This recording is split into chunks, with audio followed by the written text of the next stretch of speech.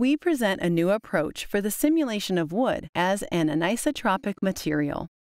The input to our method is a watertight mesh, as well as information describing the distribution and orientation of fibers within the wood. Fiber information can either be defined manually by a user or generated procedurally. Our approach is based on the position based dynamics framework, in which objects are represented by a set of particles with constraints that define the dynamics.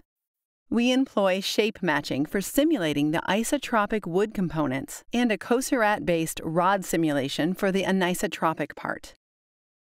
In the pre-processing step, we procedurally generate rods within the mesh based on the fiber description as well as shape matching groups. The simulation loop consists of the application of shape matching and rod constraints.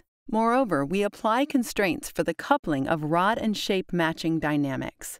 Wood fracture is handled by evaluating an anisotropic fracture condition for each shape matching group. If the fracture condition is satisfied, we update the connectivity of shape matching groups and rods accordingly.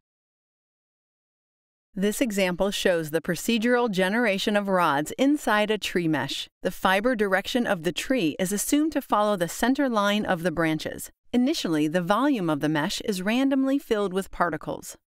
Then, rods are created by adding a new particle for each previously created particle, advancing it in fiber direction and creating an edge between them. If a newly added particle is colliding with an existing particle, the already existing particle is removed. This process is stopped when the whole volume is filled with particles.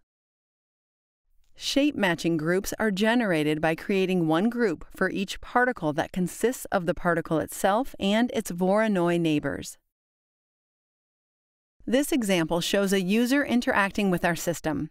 The tree starts swaying as the user starts to pull on its branches. When the fracture condition is met, branches start to break and fall to the ground.